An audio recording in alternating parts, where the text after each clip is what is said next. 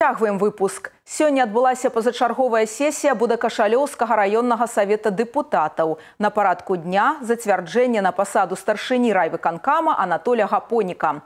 Падрабязнасці ў наступным сюжэце. Прымаючы кадравыя рашэнні 12 верасня прэзідэнт Беларусі Александр Лукашенко звярнуў увагу на важнасць амалажэння кадраў і прыцягнення на адказныя пасады перспектыўных кіраўнікоў. Анатоль Гапонік, назначэнне якога старшынёй Будакашалёўскага райвыканкама узгадніў кіраўнік дзяржавы якраз з гэтага гэтага разраду. 37гадовы ураджэнец гродзенскага раёна мае вопыт работы ў аграрным сектары і ў сферы кіравання. Працоўную дзейнасць пачынаў галоўным заатэхнікам у гаспадарцы ельскага раёна. У 2009 годзе быў назначаны намеснікам старшыні мясцовага райвыканкама, начальнікам управлення сельскай гаспадаркі і харчавання. У 2016 годзе Анатоль Гапонік узначалі ў лельчыцкай райвыканкам. З яго прыходам на пасаду кіраўніка будакашалёўскага райвыканкама звязваюць надзеі на больш актыўнае развіццё раёна района. На сегодняшний день мы видим, что Водокошелевскому району нужны новые кадры для того, могли управлять. Я вижу в лице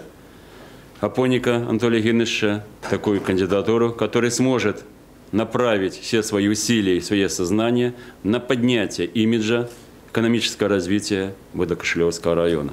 Асобу новага кіраўніка раёна дэпутаты райсавета падтрымалі адзінагалосна. Сам Анатоль Гапонік разумее, што задачы, якія стаяць перад ім, даволі сур'ёзныя. І першае выпрабаванне уборачная кампанія. Яе трэба завершыць на высокім узроўні. Проходя согласование у главы государства, были обозначены основные направления деятельности. Конечно, это достойно завершить уборочную кампанию, провести э, на достойном уровне заготовку кормов, ну и, конечно, это предстоящая избирательная кампания.